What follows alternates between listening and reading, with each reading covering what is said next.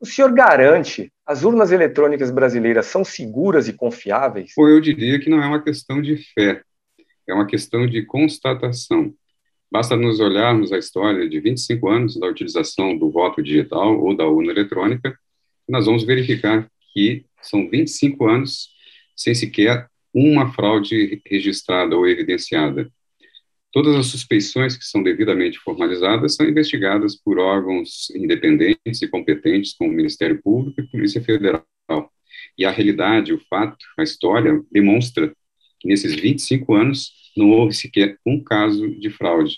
Portanto, basta se olhar para a história, olhar para o fato e constatar que o sistema é efetivamente seguro. Por que o senhor diria, então, que nós vemos tantas, digamos, fake news, tantas desconfianças lançadas sobre o nosso sistema eleitoral? Eu creio que uh, podem haver aí duas uh, origens. Né? Primeiro, a desinformação.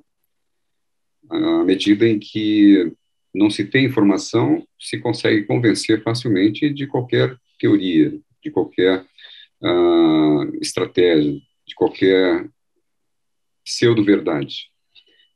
A outra, eu creio que seja uma intenção uh, organizada no sentido de desqualificar o processo eleitoral brasileiro digital, com foco principalmente uh, no seu cerne, que é a urna eletrônica.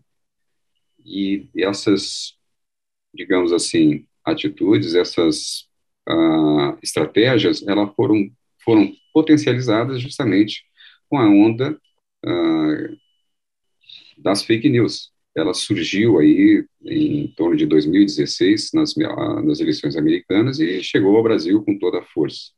Infelizmente, essa, esse, essa estratégia, esse trabalho, esse desserviço à sociedade, ela focou justamente no cerne do processo democrático, que são as urnas eletrônicas e o processo eleitoral digital.